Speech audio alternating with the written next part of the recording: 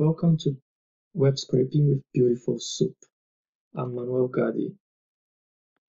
Beautiful Soup is a Python library that helps to parse, to interpret HTML and Excel and XML files, and then transform and then navigate with this with the tags and contents to actually to extract uh, the data that is within the XML and the and the HTML. And HTML5 and XML are the most common content that we find on the internet. So if we're interested in the web, finance.yahoo.com, and then we go here and search for Telefonica MC, for example, and then we find the data for Telefonica, click statistics, and we're interested in grabbing this information: market cap 36.73 billion, enterprise value 104 20, uh, 104 billion 27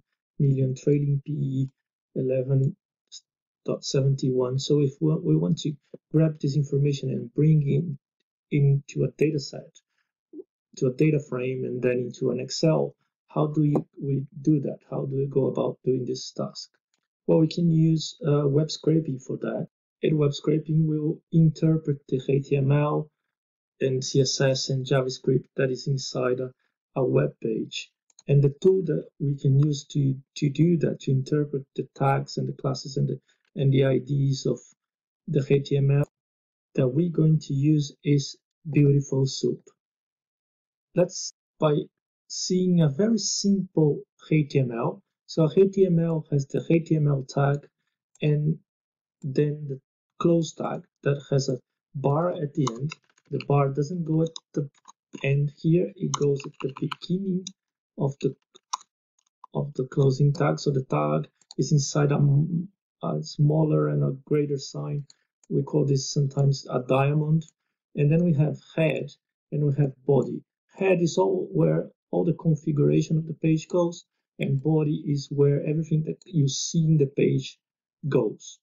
For example, if I include title here and I say tables and then I save this file, save as, I'm gonna save as 000 tables HTML.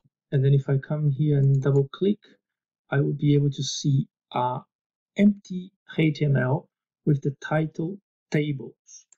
If now I come back here and include a head one tables header come back to the page and do Control F5, I should see the table header. On top of the tag h1, I could put as well um, attribute style with the value color blue. That is a kind of a CSS uh, cascade style sheet uh, that will define the color of the tables is equals to blue.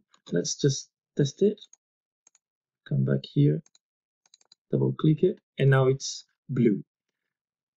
However, lucky enough, most of what we're going to be scrap scraping is going to be data is normally structured into tables and tables we can include it with table let's say border equals to one so we can see the border. If we save it and refresh our table we're not going to see anything. It doesn't it doesn't include the table.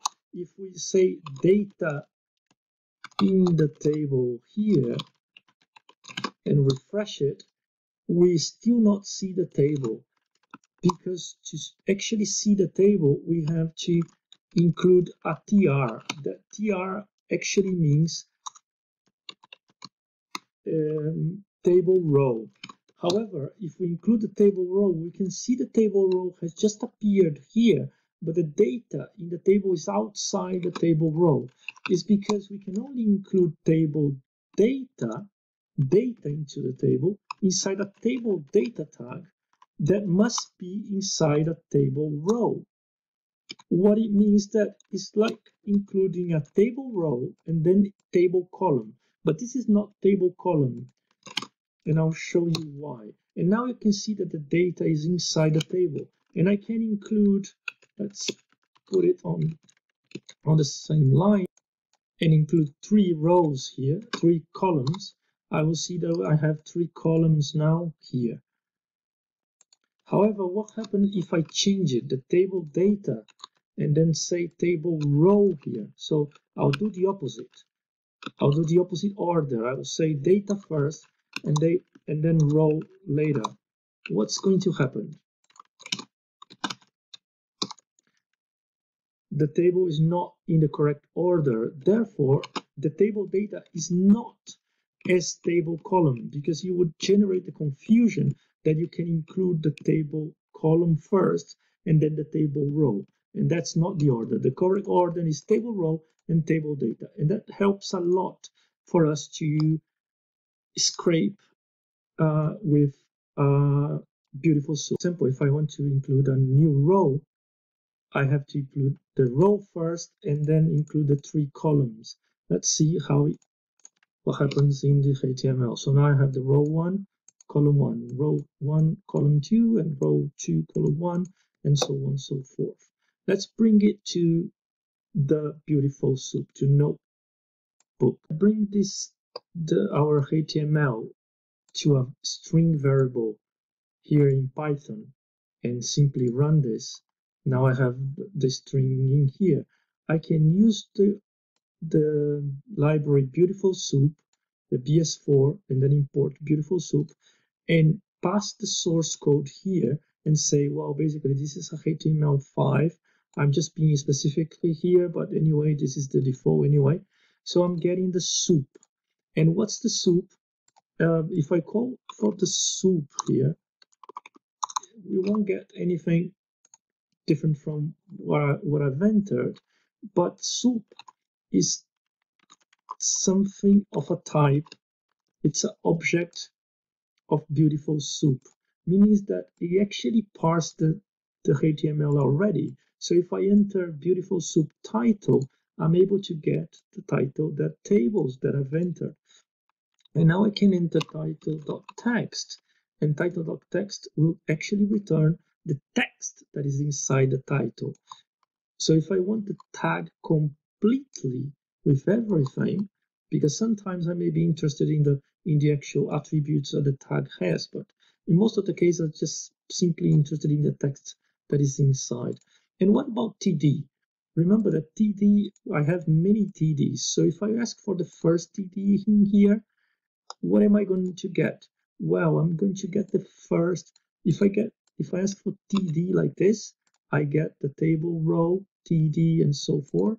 And if I get, ask for the text, I'm actually getting the first row. How do I get all the TDs? Because if I'm only getting one with, if I ask for the TD like this, I have to use soup.findAll.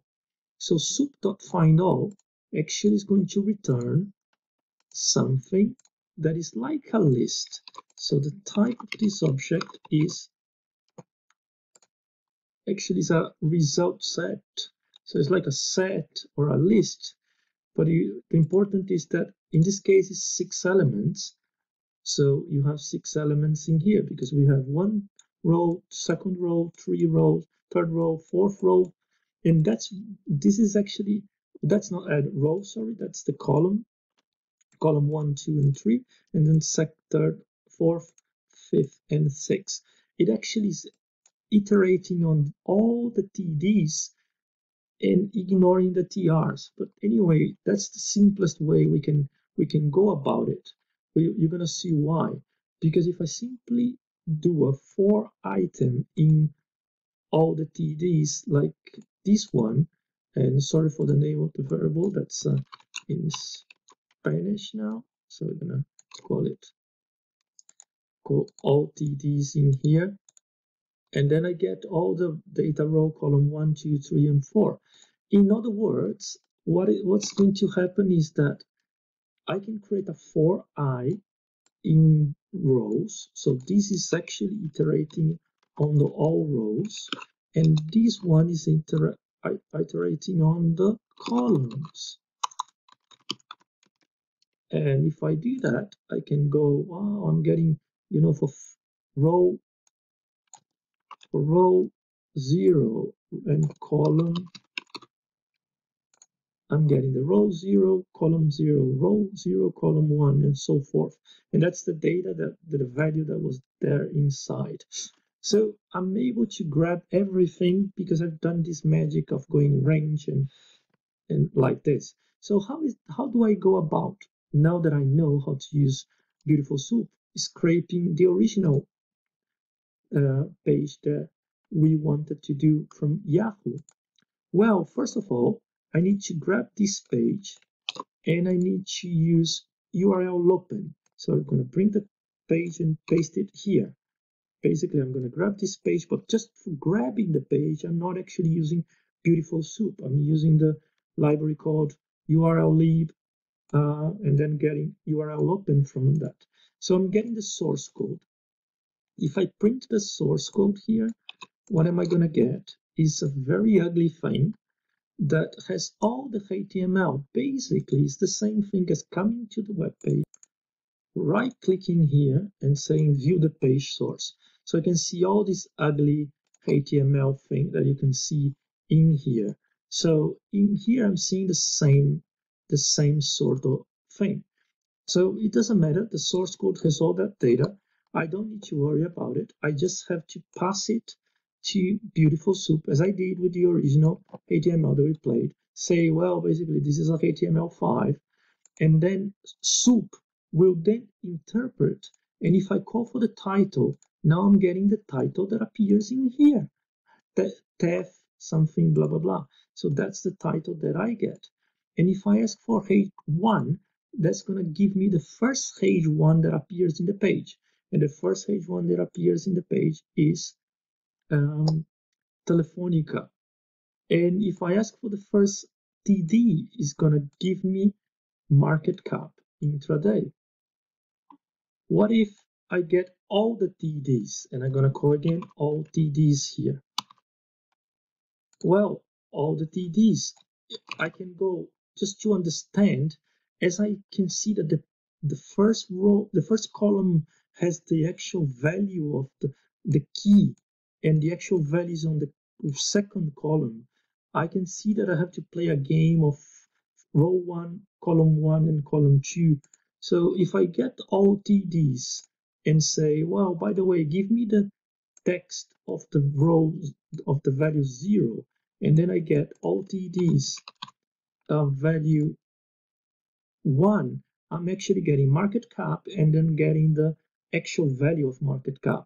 So if I get all TDs again for the second and getting all TDs for the third, I'm getting the market the enterprise value and the and then the value of the enterprise value that is 104,000 or um, billion, sorry. And in the end of the day, the number in the end of the day, I will understand that if I get the length of all TDs, I get 118 elements. And I know because it's 2 per row that if I divide it by 2, I have 59 rows. So if I transform it into integer, I have the number of rows.